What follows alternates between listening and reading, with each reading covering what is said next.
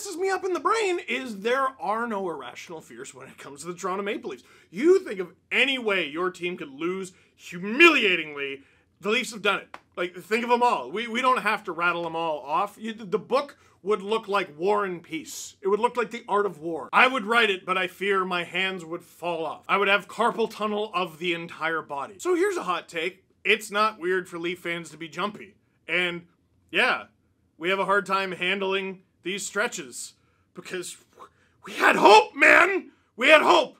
And every time they go on a few losses, on a, on a little losing streak, we're not upset at the streak. We're upset at the lifetime of hockey related trauma.